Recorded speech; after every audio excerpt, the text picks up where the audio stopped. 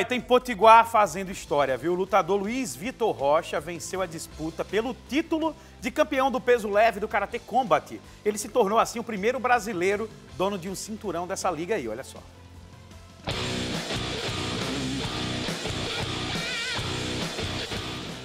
Conquista que faltava para a carreira do lutador Luiz Vitor.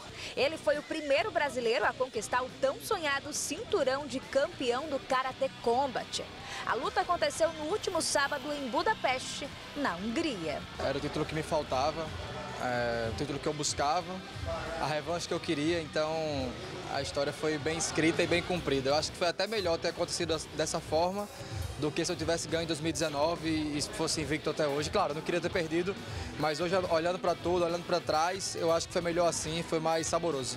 Luiz venceu no segundo round, após encaixar uma sequência de socos que garantiram sua vitória por nocaute.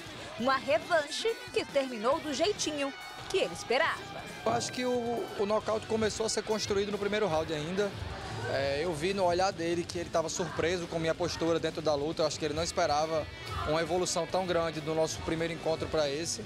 Ele sabia que eu estaria um lutador diferente, mas ele não tinha como mensurar o quanto isso impactaria. No Karate Combat desde 2018, ele acumula oito lutas, sete vitórias e uma derrota. E depois da conquista do primeiro cinturão, ele já planeja os próximos desafios.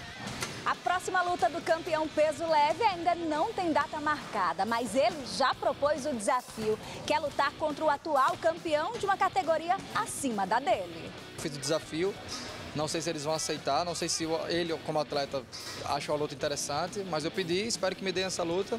Espero, inclusive, que a torcida brasileira compre essa ideia aí. Na internet está tendo muito, muito comentário sobre isso. E quanto mais comentários interessados em acontecer essa luta, maior a chance dela acontecer. Então, no momento, meu foco é esse: é movimentar a torcida brasileira para pedir essa luta junto comigo e trazer esse título inédito de duplo campeão.